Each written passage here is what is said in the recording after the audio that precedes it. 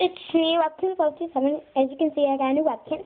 It's a tropical uh, island pup, and I adopted her anyway. And here's her tag. Tropical uh, island pup. Her name's Paradise, and I love her so much. She's like my number one favorite webkinz. Tropical uh, island pup. And she's really, really cute, and she's really soft. She's so floralish. I to name her Emily because she looks like an Emily, and she reminds me of EL Sweet Pea 3 because she's a sweet pea. Uh-huh. This is all the... Uh.